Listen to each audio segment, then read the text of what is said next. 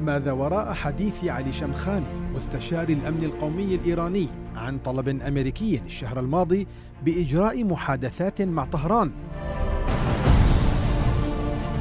لماذا كشف الإيرانيون عن الطلب الأمريكي بعد شهر من تاريخه؟ هل تراجعت إدارة الرئيس ترامب عن سياستها الصقوريه تجاه إيران؟ هذه الأسئلة تأتيكم في برنامج حديث العرب. بعنوان ما دلالة طلب واشنطن عقد محادثات مع طهران.